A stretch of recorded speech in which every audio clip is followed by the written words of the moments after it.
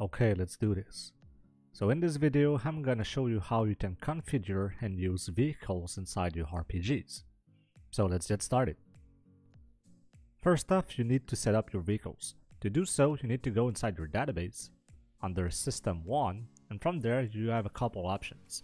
First is the vehicle image. So there are three vehicles by default in RPG Maker MZ, the boat, the ship, and the airship.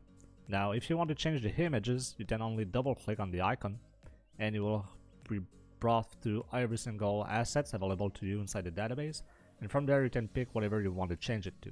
So if I wanted to change the boat to that specific kind of oriental looking boat, I could simply select this one and there we go. That simple. Also keep in mind that whenever your characters will get inside a vehicle in your RPGs, the music will change.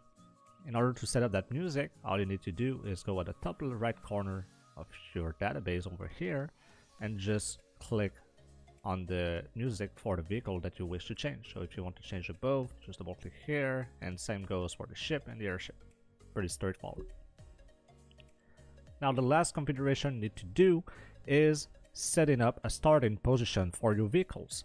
Like the player, the game needs to know where the vehicle can be found when you start the game.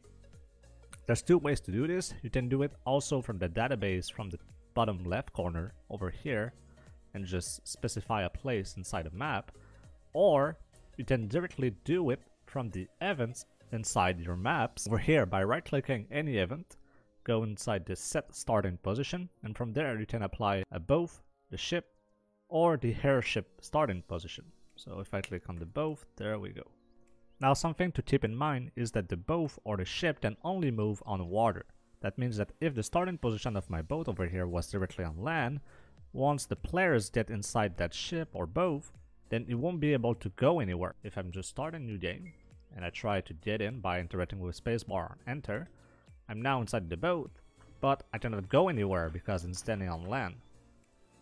Now, the whole purpose of ship or boats inside RPG Maker as vehicles is specifically so that the players can travel on water.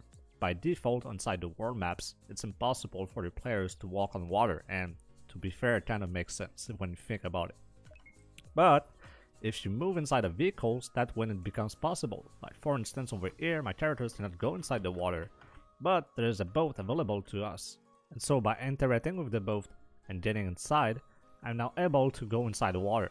Now keep in mind that boats are not able to go inside deep waters like the one you see on the map by default. It's impossible for it, it can only go inside light waters and light rivers like them the light blue that you see. So if I try to go inside the darkest blue, which is deep water, it's impossible for the boat to do it. The ship, on the other hand, is entirely capable of doing so.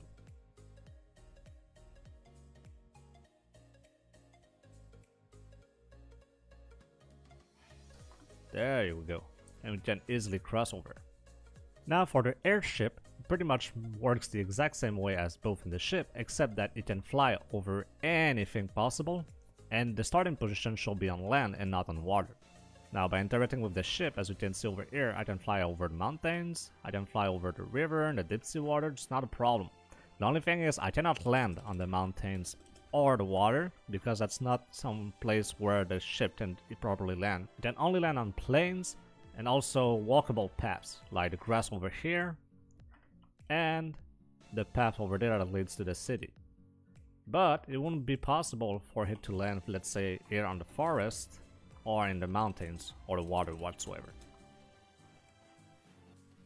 One last thing to keep in mind is that should you wish to change the images or the position of a vehicle, it's entirely possible to do so through the events. All you need to do is go inside your events commands and in order to change the image, then go inside the third tab under system settings and at the very bottom you have change vehicle image and so during play you can change the appearance of your boat or ship or the airship. Also, you can set a new position if you want them to move elsewhere inside the game by going through the second tab and click on the set vehicle location and once again you can select the boat, the ship or the airship and assign a specific position or assign one with variables.